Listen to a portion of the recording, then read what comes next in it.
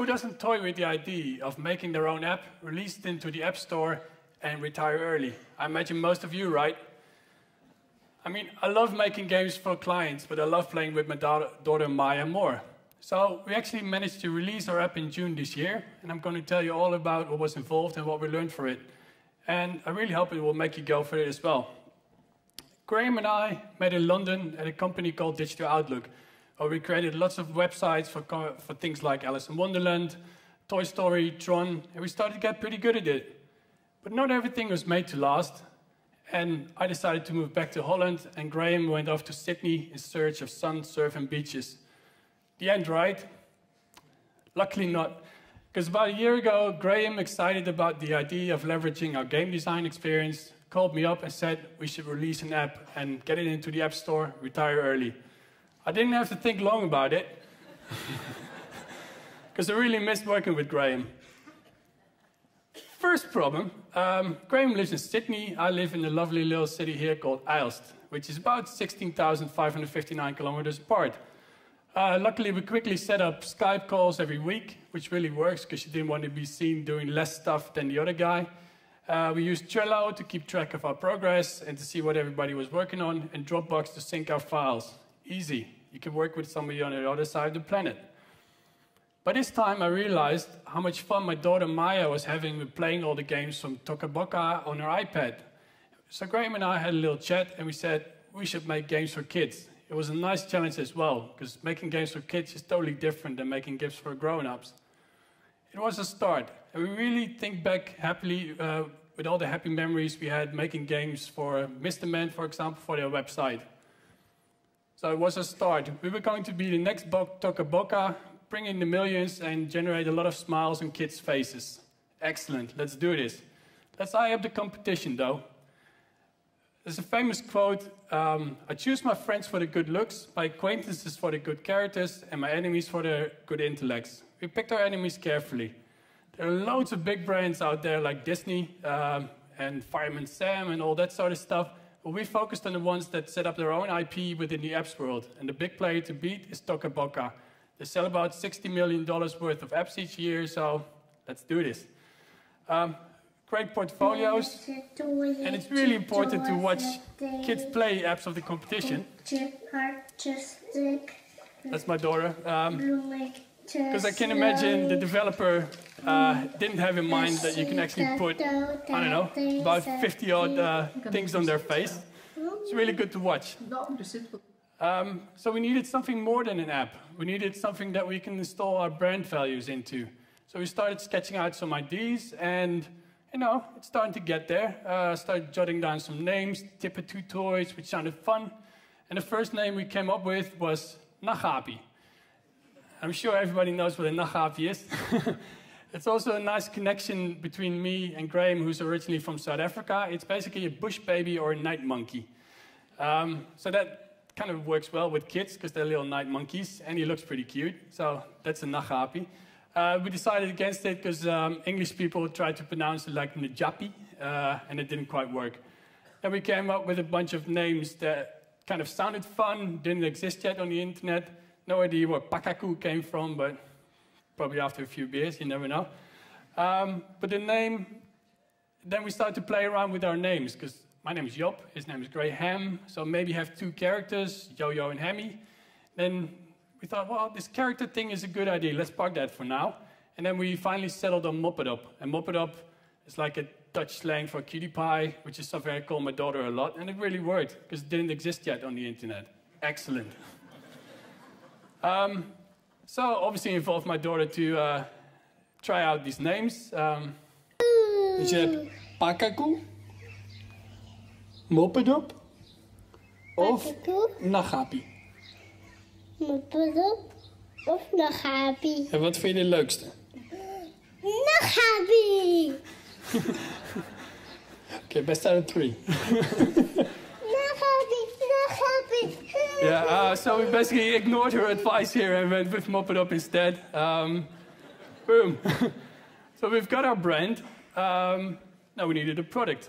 We started sketching some ideas which are based around animals on a farm, because uh, kids love animals, right? They were kind of cute, they worked, uh, but it wasn't quite there yet. Uh, and it wasn't until I was on holiday with my family on an island, um, and I basically spent the whole afternoon making the craziest ice creams with my daughter, like with seashells on top and empty crabs and basically anything you can find on the beach. And I thought, yes, let's do this. Let's make an app where kids can create ice creams and they can go nuts. Wicked. So we have a brand, we have a product. Uh, now we just need to find a way to differentiate ourselves from the competition. And our way to do that was to incorporate stories into our app. So you can really involve the kids into your app uh, if you set up the story so they understand why they're making ice creams. And it's a really nice connection as well between parents and kids. Because, for example, when I bring my daughter to bed, we always read through the Mop It Up story, and then I let her make one ice cream, and then she goes to sleep most of the night. Uh, but it's wonderful. so we have that. Now we have a brand, a product, and a way to differentiate ourselves. Let's, crack, let's get cracking. Uh, we created some initial designs, and they, they kind of worked with a cute polar bear, and it was all very pink and blue and cute. Um, we were missing something, something that would help us set apart, help us set apart from the competition, something that could make it really unique. So what do you add? Monsters, of course. So we started sketching again and turned this cute little ice cream van into a big monster truck, and kids were going to create these crazy bat-infused ice creams with eyeballs on top. Yeah, that works. So these are a couple of monsters we created. We've got uh, Smut and Disco and Spike, and there are a bunch more, and we gave them all names, different quirks, habits, um, and that really works when you try to uh, help them find their way through all the apps you were going to create. So we have a brand, a product, a way to differentiate ourselves. We've got monsters. Um, and by this time, you might realize uh, I'm, I'm, using my daughter a lot for uh, testing the app and things, you know, keeping her up late. She's really loving it. Uh, no, she is really loving it. Is there a snit? Yes, I do. Yeah. And she basically keeps pushing me because uh, uh, I'm not making these up. She kept hassling me. So, Dad, when is the app finished? Come on. Uh, which meant lots of iterations because she was playing it, other kids were playing it, and it really makes you fine tune your app. Because, for example, on this screen, initially we had that you need to select a container and then select OK to approve it, which is a very grown up way of thinking. Uh, kids just click that one and want that one. Tiny tweak, big difference.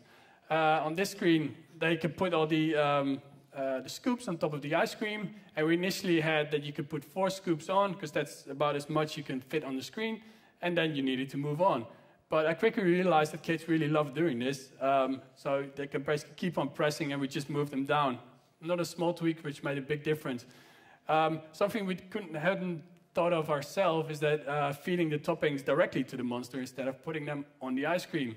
Kids are great when it comes to uh, making up stuff like that. Um, so by the time we had it, I mean, we had our app. Let's test this thing. And we basically uh, rounded up all the kids we can find my kids, my family's kids, uh, random kids on the street. no.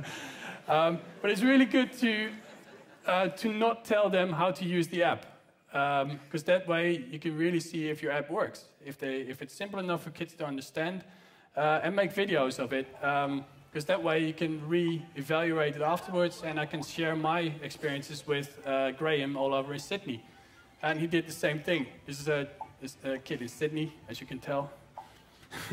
He's playing the app. Uh, what we also did is, yeah, you, are laughing now, but it's um, testing it with grandparents and old, old people, basically. Um, and sorry, they, they don't get it. They just don't get the app.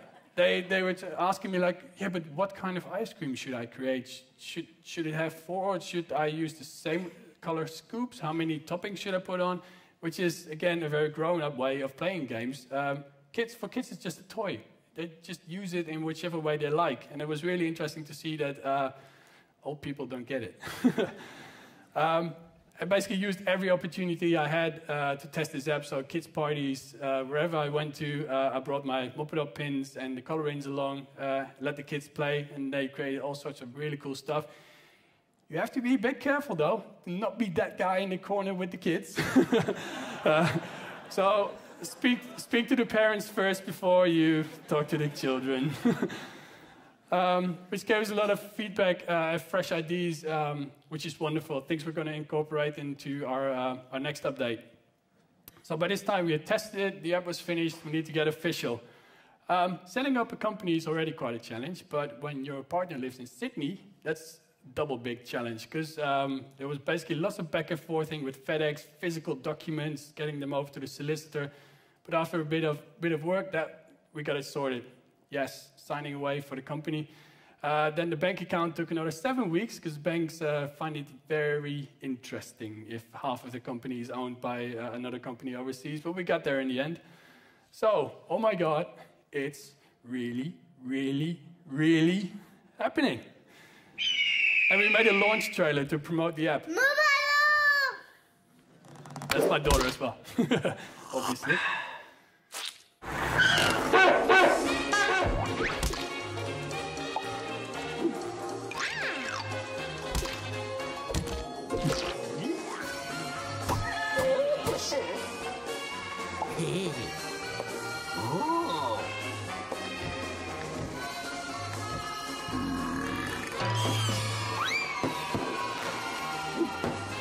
Lots of good stuff. It's available on iTunes and Google Play. um, so by this time, uh, we were on holiday in uh, Bristol, in England, and uh, through digital age style, uh, I plugged in my iPhone of the data connection, released the app into the App Store, and let's bring, bring on all these downloads and amazing reviews, right? It takes a little while for it to be updated, but that's okay. We can wait to become millionaires. Um, checked in the next day, boom, live. It was on. Uh, first little oh shit moment because we basically uploaded all the graphics, rotated 90 degrees. Uh, hey ho, quick update, sorted that out. And then all the downloads. That didn't quite happen. bit, bit of a reality check there. Um, uh, luckily, the next day we had about 30 downloads, thanks to all the lovely friends and family. Uh, so please download our app. but hey, hang on. Surely, in all of your experience, you've heard about marketing. Um, yep, we did. So we did prepare a bunch of Facebook ads. Um, and it's really funny to see that the ones on top with the actual children in there perform way better than the ones without. And it's really handy on Facebook. You can just upload a bunch of them, and through A B testing, uh, they basically choose the ones that perform well. Um, it cost us about 215 pounds, uh, which got us 20,000 people reach. Out of the 20,000, 160 people clicked through, which apparently is really good click-through rate. And out of those 160, two people bought our app. but hey, two people, that's good. Uh, so basically, that means a massive loss. But that doesn't matter because it was a, a, nice experience. We got some um, uh, new likes on our Facebook page. Um, but we're probably going to focus on cross-promoting our app a bit more than spending money on Facebook again. Um, but on the Facebook subject, uh, it's really important to involve your public, uh, people who are interested in your brand, uh, along the way. So we uploaded lots of sketches and cool things so we can get feedback along the way. Uh, and you can do fun stuff with videos because Facebook loves videos.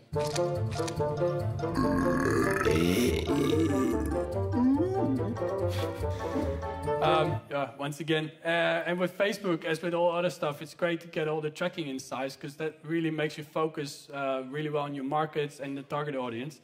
Um, as you can see, the videos perform way better than images, which is really good uh, thing to know.